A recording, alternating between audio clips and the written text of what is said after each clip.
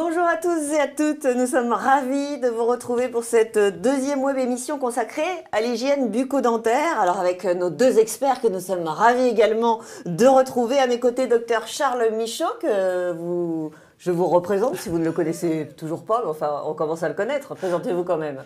Donc Charles Michaud, chirurgien dentiste. Euh, J'ai une activité en parodontologie et implantologie exclusive et une activité hospitalo-universitaire Oui. à Paris 7. Voilà, à Paris 7. Et puis à mes côtés également, euh, docteur Patrick Gignès qui nous vient lui de Montpellier. Bonjour d'abord, Patrick Ginès de Montpellier. Donc je petit suis accent du soleil. un accent de Montpellier puisque je travaille au CHU de Montpellier et je m'occupe du département douleur. Dans ce sens, je vois des patients chroniques avec euh, des problèmes de pathologie difficiles à traiter, comme vous, je crois, pour essayer d'introduire une hygiène bucco-dentaire de qualité avec une bonne observance, ce qui est difficile. Ah, on va, y, on va y venir, on va y venir. En tout cas, merci à vous deux euh, d'être avec nous. Mhm. Euh, pour ceux alors qui ont raté le premier épisode ou qui ont la mémoire courte, hein, ça arrive même aux meilleurs chirurgiens dentistes. Lors de la première web émission, on avait beaucoup insisté sur la communication très importante à établir, hein. le rapport de communication et de confiance à établir entre le praticien et le patient en fonction du profil du patient, de sa personnalité, hein, parce que on Et a du vu praticien que aussi. oui, oui, du praticien aussi. C'est vrai qu'il y a des sacrées personnalités aussi. Vous avez raison de le souligner. euh, ça, je ne vous le fais pas dire. Mais c'est vrai qu'il y a plusieurs typologies euh, de patients et donc euh, plusieurs tempéraments. Donc il faut s'adapter. Bien sûr, établir la relation, c'est important. Alors aujourd'hui, on va voir comment, une fois que ce lien est établi, comment on concrétise cela et comment on applique cela dans le domaine de l'hygiène bucco-dentaire. Comment est-ce que vous, praticiens, vous faites passer euh, vos conseils essentiels pour notre santé, la santé de nos dents, la santé tout court. On aura l'occasion d'y revenir. Quels sont les arguments euh, importants à utiliser pour convaincre? Comment obtenir un changement de comportement? C'est souvent euh, essentiel. Et puis, est-ce que vous utilisez des supports d'éducation? Vous pouvez poser toutes vos questions tout au long de l'émission par écrit. Nous y répondrons en fin d'émission. Et puis, un petit détail technique, si vous avez envie de visualiser l'émission en plein écran, vous double-cliquez. Voilà, c'est tout simple. On va entrer dans le vif du sujet et on va commencer par une question, euh, toute simple et pas si simple que ça, euh, docteur Michaud. Est-ce que le premier truc à voir avec le patient, finalement, c'est pas son mode de vie et mettre un petit peu par terre ses mauvaises habitudes? Alors clairement, je pense que cette notion un petit peu globale d'appréhender le patient, elle est, elle est vraiment essentielle. C'est-à-dire que ben, il va falloir, au même titre qu'on évalue euh, les antécédents médicaux, il va falloir utiliser un petit peu checker les habitudes et les mauvaises habitudes de vie. Donc on va pouvoir le tabac, qui est un Il facteur, fume. il fume, et donc pour sa santé bucco-dentaire, c'est clairement désastreux. Et pour le reste, on n'en parle même pas. Et en plus, il mange des bonbons, dites donc. Et en plus, donc tout ce Mhm. qui est sucré, il faut savoir que pour le risque carieux, c'est vraiment un facteur de risque notoire avéré. Pour peu que le sucre soit mélangé avec des choses gazeuses, toutes les boissons Oh, gazeuses sodas. Le soda dramatique. Et il n'y a pas que le soda. Il faut savoir qu'également l'acide citrique qu'on retrouve même dans des choses euh, type les boissons énergisantes, etc., Ah sont oui. vraiment des vraies catastrophes, Ouais. sont très très érosives. Donc pour les mailles, c'est vraiment très très très très délétère.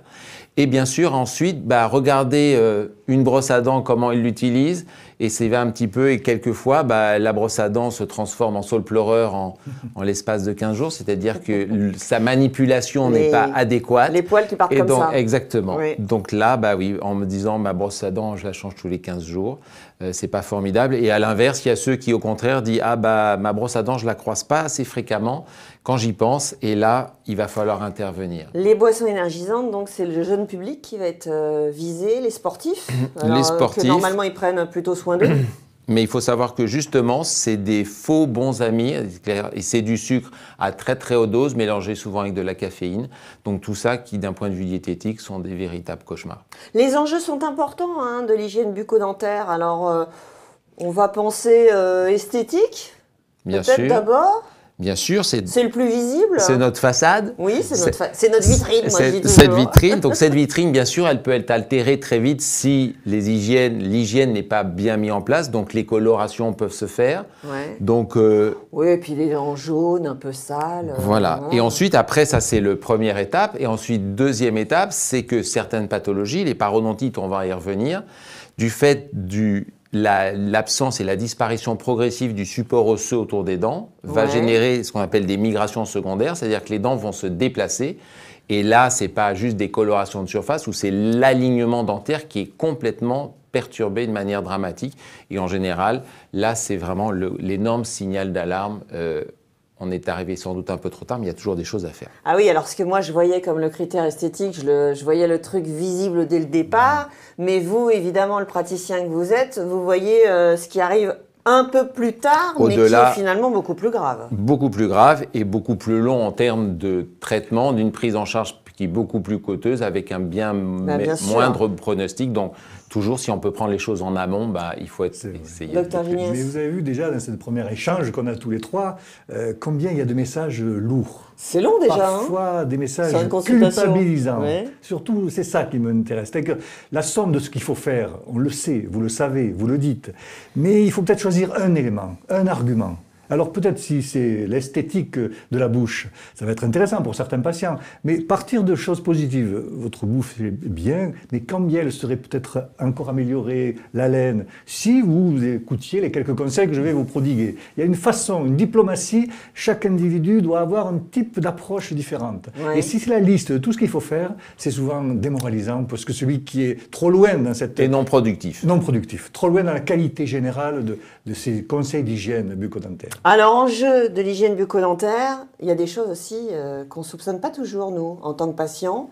On ne soupçonne pas à quel point, en prenant ou non soin de nos dents, c'est le corps dans son ensemble, hein, et des choses parfois très graves. Tout à fait.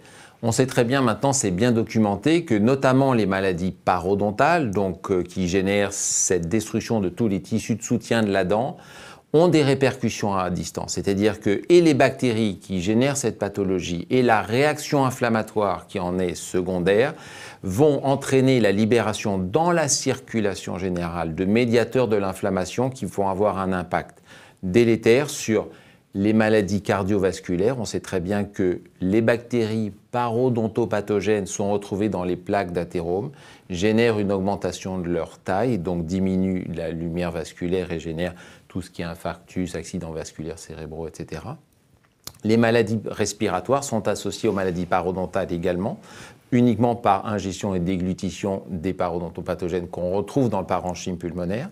également, on sait que les parodontites aggravent et participent au déséquilibre insulinique du diabète et que également l'obésité va venir en complément de tout ça, que une patiente qui a une parodontite non traitée a beaucoup plus de risques de développer et d'avoir des naissances prématurées et ou d'enfants hypotrophes. Donc là, c'est vraiment quelque chose, un enjeu en termes de santé publique absolument phénoménal.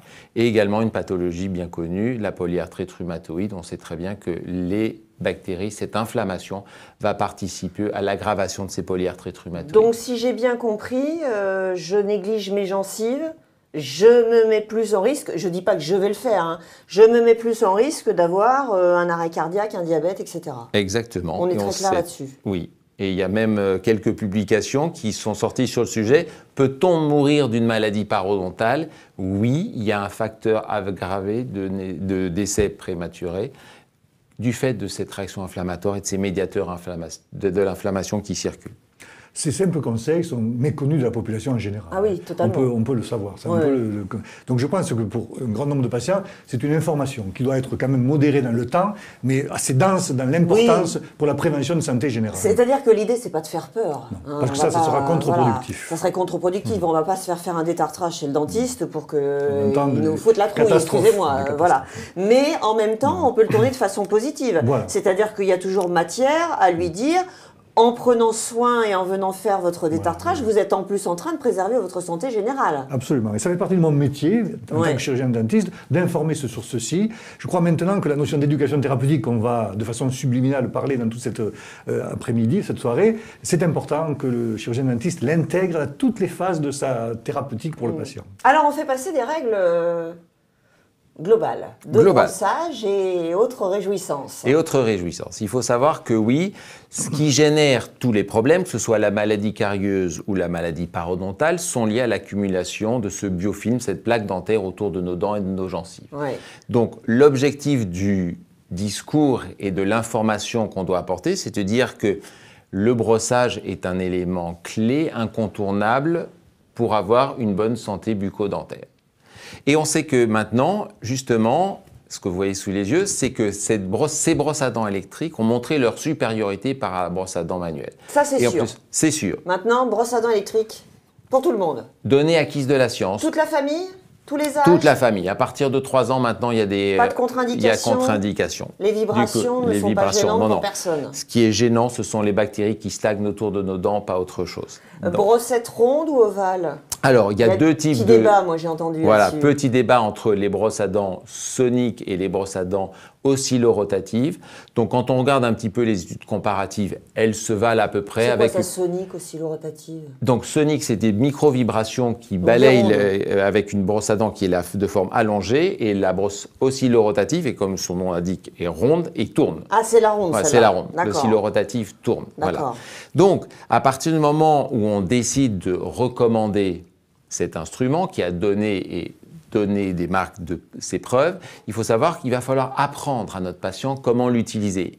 À partir du moment où on change d'instrument, on change de technique. Donc, ce qui va être Ah, essentiel, c'est que si on veut que l'instrument qui a été prescrit, au même titre que quand on prescrit un médicament, on veut qu'il soit Mmh. efficace, quand le prendre, et ben là, c'est comment l'utiliser et donc montrer à notre patient comment l'utiliser, c'est Je essentiel. comprends pourquoi le- la recommandation va plus sur la ronde, c'est que finalement le geste euh, est, plus, simple. il est clairement Alors plus qu'avec simple. l'ovale, il faut vraiment. Il faut avoir ce mouvement vertical, voilà, bas, et vraiment et surtout l'utilisation, pas et surtout pas sens-là. dans ce sens-là. Alors clairement. donc la ronde est quand même plus recommandée. On la Voilà. préfère, mais les deux sont quand même recommandables. C'est quand même extraordinaire, ça, que les chirurgiens dentistes maintenant vont se mettre à faire de l'éducation avec des travaux dirigés avec les patients. C'est- c'est un temps assez... TP. Tout, de Travaux pratiques. Travaux pratiques. Vous apprenez Je pense que c'est un rôle nouveau pour le chirurgien dentiste Oui. et qui va valoriser le métier. Comment ça, c'est nouveau C'est nouveau que vous appreniez à vos patients à se laver les dents? Euh, Nous, on apprend aux patients bien autre chose en tant que médecin généraliste de la douleur. Mais je pense que moi, je suis allé aussi chez le dentiste et je n'ai pas eu souvent euh, ces conseils. Ouais. Donc je trouve que pour moi, c'est nouveau. Donc euh, je pense qu'une partie des chirurgiens dentistes n'ont pas intégré dans leur pratique quotidienne. On est clairement, c'est pour ça qu'on est là aussi ce soir, c'est-à-dire faire passer ce message que notre travail de faire apprendre une technique, même si on va moduler en fonction de chacun, mais c'est vrai que c'est pas un scoop. La cavité buccale, c'est une cavité. C'est compliqué d'accès et si on ne donne pas les clés au patient pour s'en sortir, il n'y arrivera pas. Donc c'est pas prenez, je vous prescris une brosse à dents électrique, ça va rentrer. C'est justement amener donner l'information sur l'effet bénéfique de ces brosses à dents électriques et ensuite lui permettre de mettre en œuvre la bonne technique. Deux minutes? Deux minutes. On considère qu'avec une brosse à dents électrique, il faut une minute pour brosser l'arcade du haut, face externe, face interne, une minute pour faire la la- l'arcade du bas et avec ça, on a presque tout fait. Deux minutes, deux fois par jour. Matin et soir. C'est curieux parce que fut un temps, qui n'est pas si lointain hein, quand même, pardonnez-moi, euh, on nous disait trois minutes, trois fois par jour. Alors, on dit, était- s'est dit c'est trop. Non, on ne s'est pas dit c'est trop, mais il vaut mieux faire deux fois par jour très bien que trois fois pas bien. Donc il faut savoir que maintenant, les recommandations professionnelles ont montré qu'avec deux brossages bien réalisés le matin, le soir, on maintenait une bonne santé orale. Et alors, il y a des études qui montrent que c'est bien réalisé, matin et soir, deux minutes? Alors on s'aperçoit que, pas complètement, hélas, le temps moyen de brossage de nos congénères se situe à peu près au niveau de 37 secondes je- quotidien. Donc là, vous voyez, il y a encore Ouais. dans notre message et de la manière dont le faire passer, encore Des pour progrès à nous faire, des ouais. progrès à faire. Oui, on peut pousser un petit peu encore hein, sur le brossage. Oui. Voilà. Bon, deux minutes, deux fois par jour, avec une brosse électrique plutôt ronde si on veut se faciliter Voilà. un petit peu la vie. Mhm. Voilà. Euh, on complète, ça, ça suffit pas la brosse. Bien sûr. À dents. Il faut savoir qu'une brosse à dents, toute électrique qu'elle est, n'instrumente pas du tout l'espace interdentaire. Oui. Et quand on va parler justement de ces parodontites qui génèrent tous les problèmes qu'on on a évoqués, que là, l'espace interdentaire, c'est là où se situent 90% des lésions. Donc c'est vraiment la zone stratégique et Ouais. clé. Donc en complément du brossage électrique, il va falloir, en fonction des patients, et c'est là où il faut s'adapter, et c'est pas tout le monde n'a pas la même chose. Si la gencive est parfaitement saine, c'est-à-dire occupe l'espace interdentaire, le fil dentaire va être préconisé. Et au contraire, si déjà une parodontite est là et les espaces sont Mhm. verts, on va utiliser une brossette en complément. Les petites brossettes donc qu'on met euh, entre chaque dent. Entre chaque dent, un passage dans chaque.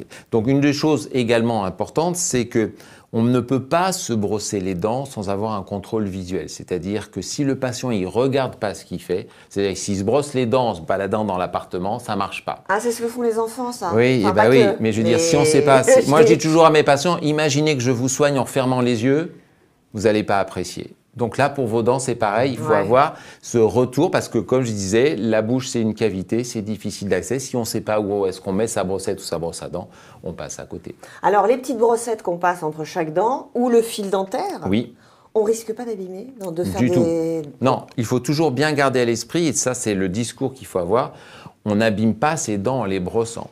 D'accord? C'est par définition, c'est la dent, le parodonte se détériore s'il y a des bactéries, donc de la plaque si dentaire. ça saigne un peu. Alors, le saignement, c'est toujours quelque chose euh, que les patients rapportent. Et pour nous, ça doit être un signal d'alarme. C'est-à-dire que la gencive saigne, elle saigne pas. Le saignement, c'est toujours la traduction de la réaction inflammatoire. Si la réaction inflammatoire est présente, c'est qu'il y a des bactéries. Et s'il y a des bactéries, c'est qu'il va falloir montrer aux patients comment les éliminer par le brossage. Alors, évidemment, tout ça ne dispense pas euh, d'une visite chez le dentiste. hein. Voilà, je crois tous les ans au minimum. C'est recommandé. Tous les ans, voire même sur les deux ans, certains sur ça. patients. Alors, en fonction du profil pathologique, oui, il y a même des patients qui sont vus tous les six mois. Oui, moi, on m'a voire trois, tous voire trois mois, fois, voire trois fois par an, Ouais. dans des cas de parodontite où là, des cas, le, le suivi est, est important.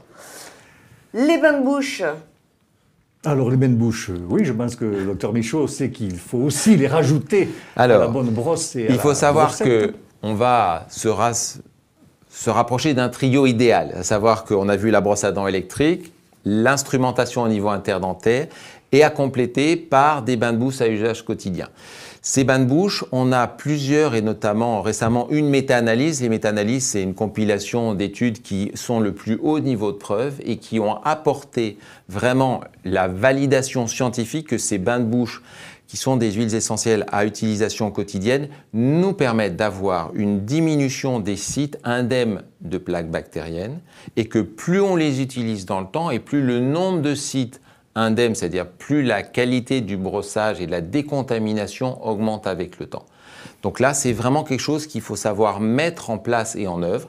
Et pareil, si on veut vraiment faire comprendre aux patients que ce bain de bouche a une légitimité, c'est de dire, ben voilà, il est le complément incontournable du brossage et du brossage interdentaire. Ouais. Et qui va apporter, en termes de maîtrise de l'inflammation, quelque chose d'essentiel. Alors je crois qu'on voit hein, à l'écran euh, euh, la petite étude, les petites études qui ont été faites. Une grande étude, c'est Euh, méta-analyse. ouais, c'est ouais, pas ouais, une- ouais. ouais. Euh, tous les bains de bouche pour tout le monde. Alors, il faut savoir qu'en fonction... Il, il m'a toujours semblé quand même entendre, euh, mais alors je ne sais pas si c'est vrai, euh, attention, faut Pas les bouche, utiliser trop longtemps, vous allez abîmer vos gencives. euh. Alors, il faut savoir que les bains de bouche, il y a certains bains de bouche à visée curative. Donc, on utilise notre le chef, le chef de file, c'est la chlorhexidine, qui bien sûr euh, va détruire complètement toute la flore et la flore commensale. Donc là, bien sûr, ça c'est une utilisation courte dans le temps, 8-10 jours grand maximum. Là, on est sur complètement autre chose. Ces bains de bouche sur le long terme aux huiles essentielles ne perturbent pas la flore commensale et c'est pour ça qu'on peut l'utiliser sans crainte d'une part et d'autre part avec une efficacité prouvée et avérée. Donc là, on est sur des nouveaux bains de bouche qui sont vraiment euh, à usage quotidien. Qui sont pas nouveaux, mais on va dire dont l'évaluation très stricte très et scientifique est très satisfaisante. Et on sait que, notamment dans le cadre d'une maladie parodontale, ça apporte vraiment une amélioration substantielle Donc et avérée. euh, là, euh, on est vraiment sur un complément. Si on fait brossage, brossette, bain de bouche, euh, on a le trio gagnant. hein. on a le trio gagnant. Ouais. Mais c'est vrai que c'est ça la difficulté, c'est d'arriver à faire passer ce message de Ouais. trio gagnant. Je voudrais qu'on revienne sur un- une photo qu'on a peut-être vue, mais que- sur laquelle on ne s'est pas beaucoup arrêté, qu'on n'a pas commenté. C'est avant-après, euh, parce que je trouve que ce qui est vraiment positif là-dedans, c'est de voir la réversibilité Tout à fait. quand on décide de reprendre sa bouche en main, si je Donc vous peux dire voyez, euh, une jeune patiente de 20 ans Dites donc, 20 qui ans, avait euh, euh, donc oublié un petit peu que la brosse à dents existait. Oui, un petit peu, Donc oui. on a juste réalisé un détartrage. Vous avez vu tout ce tartre, c'est des peaux noires qu'on a en surface. On a mis en place une hygiène bien amenée et regardez en 8-15 jours 8-15 la jours. réversibilité et là la santé gingivale et dentaire Ouais. retrouvée. On s'aperçoit que si vous voulez même si vous regardez l'espace entre les deux dents du milieu c'est même un peu rapproché, c'est-à-dire que par densité et disparition de l'inflammation, les dents se sont rapprochées. Ah oui, ça, j'avais même pas remarqué. Euh, je ne suis pas professionnelle comme vous, bien sûr. Cette image est forte. hein. Oui, oui, oui. Je pense qu'il faut aussi euh, prévenir le patient et demander est-ce que vous voulez que je vous montre l'état actuel, par exemple, de votre euh, gencive et votre, de vos dents Et est-ce que vous voulez qu'on voit s'il y a une évolutivité possible? Parce que l'image est peut-être crue. Et donc, pour certains patients, ce sera peut-être euh, un élément de blocage. Donc, il faut toujours penser à demander l'autorisation d'exposer, même si c'est en grand. Je crois que vous avez dans votre Oui, oui. cabinet euh, un écran qui Oui, oui. amplifie encore l'image photographique du patient euh, auquel on fait la photo Pourquoi de ses gencives. Vous pensez que c'est à double tranchant et que ça peut bloquer Je pour, pense euh, que certains, oui. Ouais. Pour euh, celui qui est dans l'art dentaire permanent, il trouve ça banal. Mais la réaction sur un détail pour un patient est toujours unique. Et on est toujours surpris. Ouais. Il faut se méfier de ce qui paraît logique sur le plan de la communication, mais ce qui peut paraître euh, trop invasif sur le plan de l'émotion. Ouais. Euh, vous parliez tout à l'heure, vous l'avez évoqué, hein, parce qu'on a parlé de l'esthétique, euh, ça peut être un critère pour les uns, euh, les enjeux sur la santé globale, ça peut être un critère pour les autres. Voilà. Puis tout à l'heure, il y a un petit truc que vous avez cité, c'est la laine, l'odeur.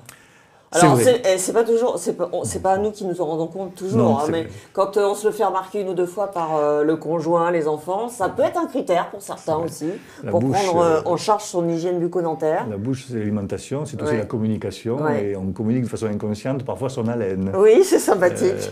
Donc là, avec diplomatie, peut-être introduire Mhm. une interrogation ou une- un questionnement sur euh, ce que pensent euh, les compagnes ou compagnons euh, du patient qu'on est en train de traiter. Ou s'ils l'ont fait remarquer une ou deux Voilà, fois, ça voilà. peut. euh, Avec diplomatie là aussi. C'est des choses qui peuvent euh, fermer la relation. Ou pas. Mais donc, euh, ce petit temps de questionnement sur la réaction Mais- possible, différente pour chaque patient, est un temps intéressant. La laine, c'est toujours un problème d'hygiène parce que on parle souvent des problèmes d'estomac. Très peu. Il faut savoir que Ah, un- la litose C'est une est fausse excuse. totalement Oh est d'origine buccale dans 95% des cas. 95%. Donc là, il faut Mais chercher. d'origine buccale, mais d'hygiène ou pas? Pas uniquement. Il Ah peut y oui. avoir des pathologies orales, notamment des abscesses qui génèrent la suppuration d'un site, etc. Un accident d'évolution de dents de sagesse génère. et voilà. Donc moins- c'est aussi quelque chose qui doit être aussi un signal d'alarme qui doit pousser à aller consulter son chirurgien dentiste. Dites donc, il y en a des choses. Hein. Signal d'alarme, oui. Il y en a des choses à expliquer euh, aux patients parce qu'on voit le temps qu'on y passe. Donc je vous souhaite bien du plaisir en consultation hein, euh, sur le simple, la simple question de l'hygiène bucco-dentaire. On revient avec vous, docteur Gignès, sur ce qui s'est dit dans la première émission et vous allez voir pourquoi on y revient parce qu'évidemment après on va adapter notre discours. Euh, la typologie des patients dont on avait donc euh, parlé. D'abord les ra- rappels de quelques règles. Alors on va pas euh, y passer très très longtemps mais il y a quand même quelques règles de base de la communication. Hein, on établit vrai. le rapport. On établit un rapport et ce rapport, c'est le patient qui doit peut-être le stimuler, le déclencher. Vous voyez ces quelques images là, caricaturales de, de, euh, qui synthétisent des personnalités. Derrière ces visages, ça nous déclenche une réaction, chacun d'entre nous.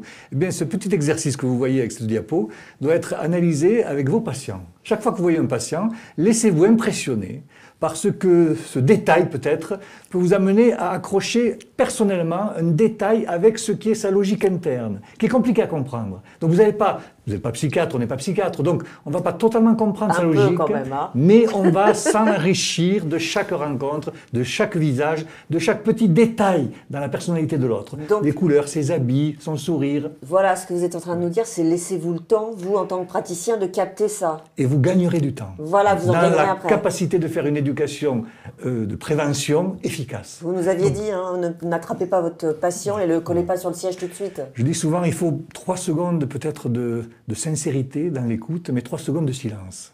Ouais. Pour laisser ce, ce vide-là peut-être être rempli par le patient, qui va vous donner un signe qui serait peut-être pas donné par ce patient si vous de suite vous lancez votre protocole de prévention. Donc ce temps de décrochage dans la communication est important et il vous fait gagner beaucoup de temps après dans l'importance et la, la, profondeur de ce que vous allez comprendre de la logique du patient, qui seul peut être modifié pour qu'il accepte les trois conseils de prévention pour l'hygiène Mhm. bucco-dentaire. Alors, donc on a nos trois Les profils. trois profils habituels qu'on a caricaturés ici. Oui. Le patient plutôt conversif, extraverti, qui va vous peut-être vous, vous noyer de propos, Ouais. et en, en empêchant de faire votre propre euh, conversation pour, Ouais. le, ça, pour un bien-être. Le patient plutôt triste, qui va pas se plaindre, euh, qui va être peut-être pudique dans l'expression de ses maladies, de ses souffrances, de sa gêne, ou une gêne qui est peut-être ailleurs de ce que vous pensez. S'il ne se brosse pas les dents, c'est peut-être parce qu'il a peur des complications que son père a eues dans les problèmes dentaires. Difficile.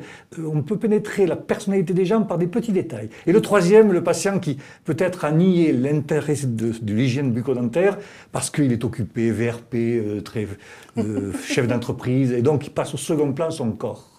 Et là, peut-être, une prévention de la santé en général passera peut-être par vos quelques conseils sur une hygiène qui commencera par les dents. Alors, ça veut dire que le mot donc hygiène va résonner différemment Absolument. d'un profil à l'autre. Voilà. Peut-être ça, va, peut ça va choquer celui qui est extraverti, parce que vous mettez en question la propreté de son comportement corporel.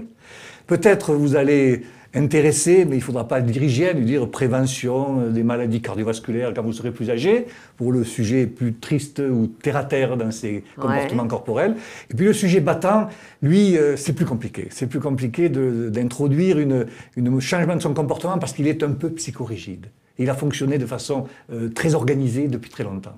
Donc là, euh, la, la clé pour changer son comportement, elle n'est pas directe dans le conseil. Elle est peut-être dans ce que vous avez expliqué sur les images. Elle est peut-être dans les statistiques. Il va peut-être être plus cohérent et compréhensif quand on lui montre et prouve qu'il faut changer de comportement de façon scientifique. Ouais.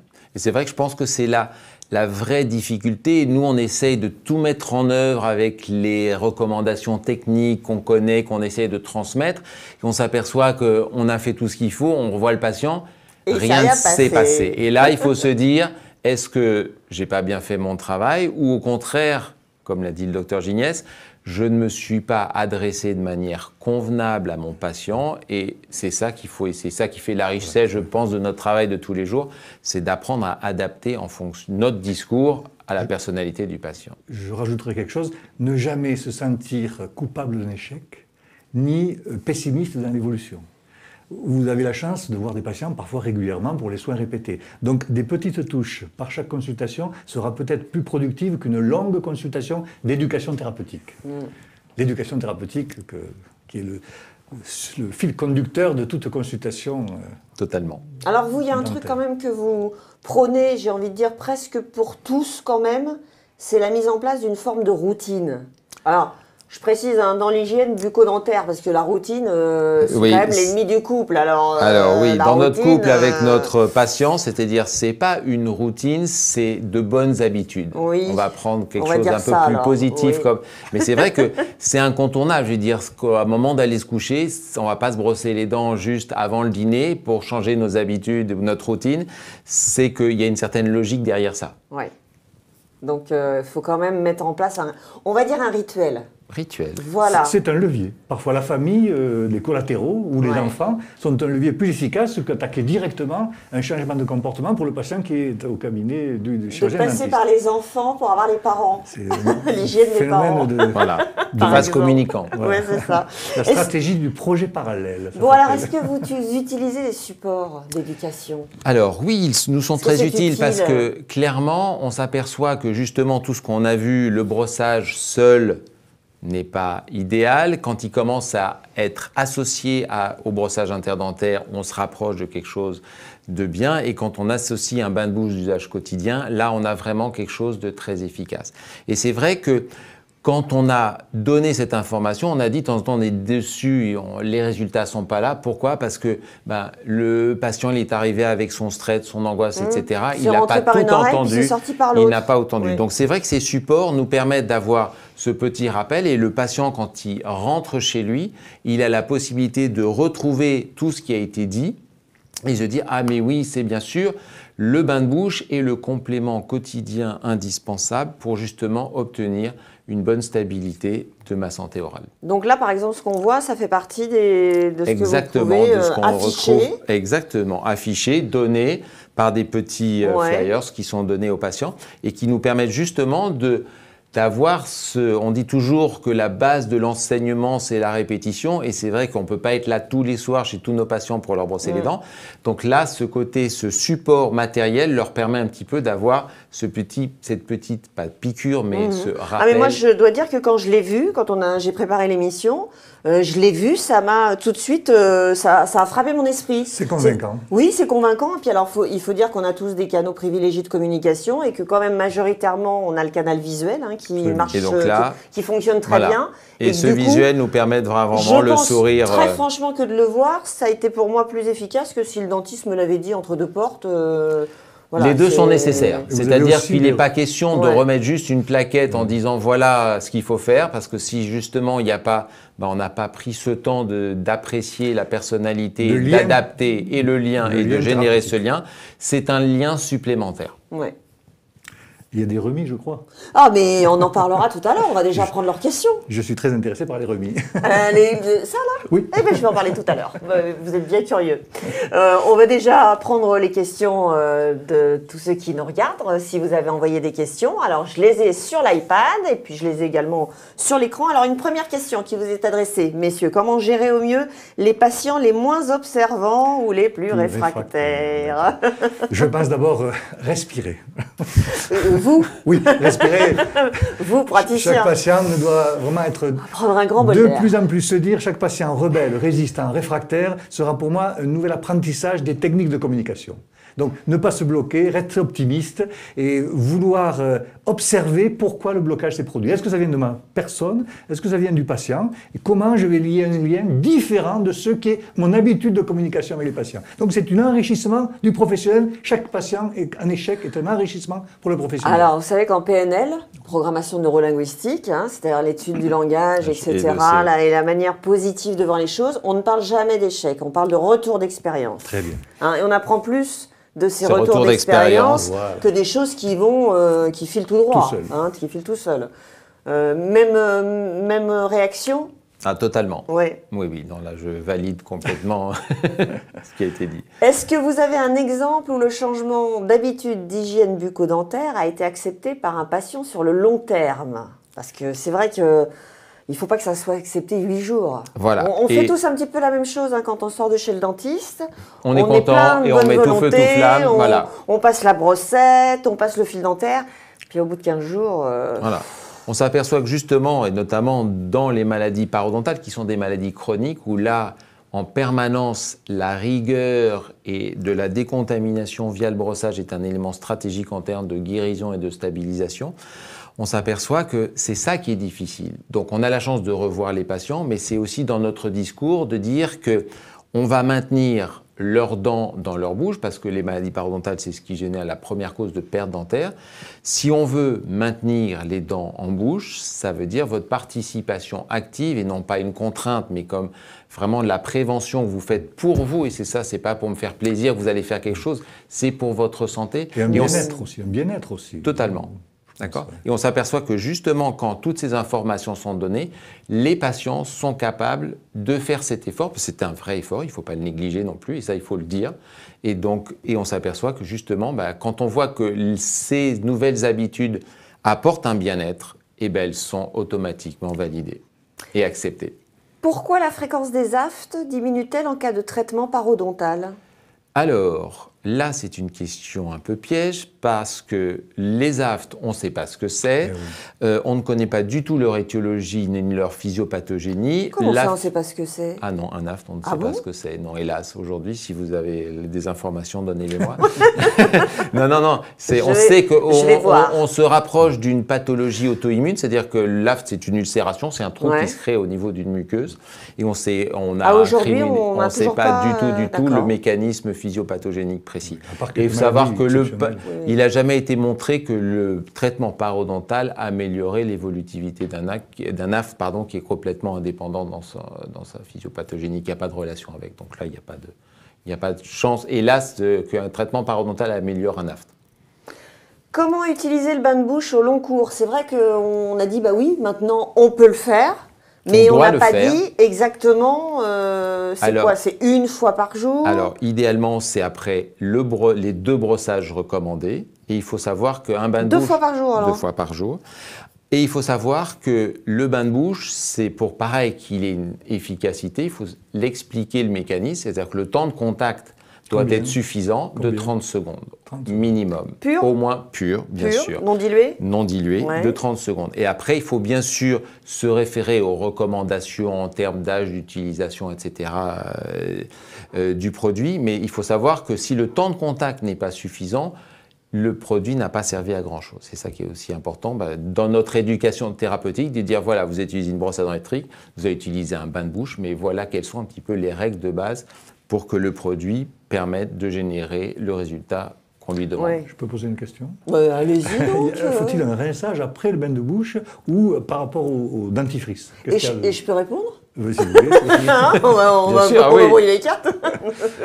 Non, non, bien sûr, idéalement, il ne faut pas rincer avec, Après le parce qu'il y a une certaine rémanence du produit qui se fixe sur notamment. Il faut savoir que les dents ne représentent que 25% de la cavité buccale. Il faut savoir que les bactéries qui génèrent toutes les sont partout et que ju- justement le bain de bouche permet d'éliminer les bactéries pathogènes des sites non dentaires et c'est pour ça que le bain de bouche a une telle recommandation Donc, et un tel intérêt. mais Je vrai suis que- sensible à ce discours. Je me suis souvent posé la question, mais donc euh, pour euh, bien comprendre les choses, euh, celui qui se brosse les dents 30 secondes, qui fait le bain de bouche 10 secondes et qui se rince derrière, il a juste rien compris et ça sert strictement à rien. Exactement. Enfin, on va pas dire que ça sert à rien. Non, enfin, il vaut mieux vaut rien euh, qu'un petit peu que voilà, rien du c'est tout. ça. Mais, enfin, vraiment, voilà, c'est de très, faire très- comprendre que très, si on veut y arriver. Bah oui. voilà, il faut mettre les choses en place. Et c'est vrai que cette Mm. observance, elle est très, très, très délicate à mettre en Il y avait œuvre. une question intéressante. Une question très intéressante parce qu'il y en a qui vous croient à moitié et qui veulent des preuves hein, au sujet de la brosse à dents électrique. Oui. A-t-elle vraiment montré une différence d'efficacité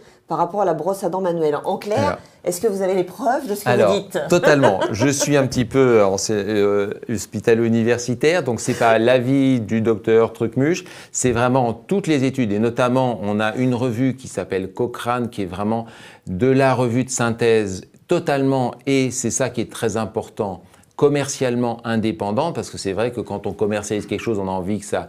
Mais là, vraiment, euh, la Cochrane Review a montré et édicté, et c'est déjà des années euh, 2004-2008, Oui. a vraiment la supériorité de la brosse à dents électrique sur la brosse à dents manuelle. Il n'y a pas photo. Ça ne fait plus débat. Ça ne fait plus débat. Alors, on en arrive à cette question effectivement très intéressante. Je pense que c'est celle-ci qui vous intéresse. qui. Euh, quel temps minimum de sa visite devrait consacrer un chirurgien dentiste ou un dentiste à l'hygiène bucco-dentaire? J'ai envie de dire, Je- bah, écoutez, trois quarts d'heure à peu près, non? Voilà, c'est ça. Mais je, je pars du principe que introduire euh, ce chapitre d'éducation thérapeutique dans le temps du travail du chirurgien dentiste devrait raccourcir le temps d'une consultation. À la fois densifier cet échange et le raccourcir. Pourquoi? Parce que c'est un moment que le patient n'attend pas. Il va être un peu étonné, dissocié par ce qu'on va lui apporter comme remis, comme information didactique, pédagogique et préventive. Et ça, ça peut le désangoisser de l'acte dentaire qui souvent est ac- accompagné d'émotions négatives. Donc quelque part, vous allez gagner peut-être en facilité de traitement technique et en raccourcissement de toutes les époques où il y a des réticences, où le patient est un peu plus douloureux, angoissé de ce qui va lui arriver au point de vue de l'acte chirurgical dentaire. Donc je crois qu'on gagne du temps à faire de l'éducation thérapeutique à tous les stades de cette rencontre avec le chirurgien dentiste. Oui, mais enfin, est-ce que sérieusement, il y a quand même, euh, il y a quand même un équilibre à trouver parce que c'est chronophage, hein? C'est clairement chronophage, mais il faut bien mettre en perspective que cette information que vous allez apporter à votre patient, c'est garantir que tous les traitements que vous allez lui faire sur le long cours vont être pérennes, que les complications ne vont pas apparaître. Donc ce temps, oui, investi, qui prend un petit peu de temps, on va dire que il faut au moins un quart d'heure, 20 minutes, Oui. voire une demi-heure. Et ça, c'est en fonction des patients. Il y a des patients qui arrivent avec une excellente hygiène. Donc là, il peut y avoir une petite adaptation. D'autres où là, tout est à faire. Donc là, en fonction de ça, le temps ne va pas être du tout le même. Mais il faut toujours mettre en perspective que l'hygiène, c'est le garant de la pérennité de tous les traitements qui vont être faits par la suite. Eh bien, écoute, on arrive au terme de cette émission. Donc, euh, on vous remercie beaucoup, beaucoup, beaucoup. Merci Alors, comme c'est très, très important de se faire bien comprendre, voici donc l'accès aux documents dont nous vous avons parlé, qui peuvent servir évidemment, hein, on l'a bien compris, à tous la famille. Alors voici le site sur lequel euh, vous devez aller https, il s'affiche évidemment sur votre écran, deux points, slash slash pro du 6 listerine.fr je le redis, hein, il s'affiche sur l'écran, c'est encore plus facile. Euh, vous allez retrouver, je vous montre quand même, bah, le poster que vous avez vu tout à l'heure, vous retrouverez sur ce site. Voilà le, fameux poster. Vous retrouvez euh, des questionnaires d'évaluation du risque carieux, des questionnaires d'évaluation du risque parodontal, toutes sortes de petites brochures extrêmement utiles, enfin plein de choses qui vont vous être très utiles à vous et à vos patients, bien sûr, et qui, encore une fois, euh, sont vraiment utiles aux grands comme aux petits. Euh, l'hygiène bucco-dentaire, hein, on l'a compris, et moi j'ai bien retenu deux choses, deux messages vraiment absolument essentiels. Un, ne se limite pas simplement la brosse à dents, et deux, vraiment euh, euh, bah, rejaillissent sur l'ensemble de notre santé, sur des enjeux euh, parfois bien plus importants qu'on ne l'imagine. En tout cas, un grand merci à nos deux experts. C'était encore une nouvelle fois un grand plaisir de vous avoir tous les deux. Merci à vous infiniment de nous avoir suivis, et je vous dis à très bientôt.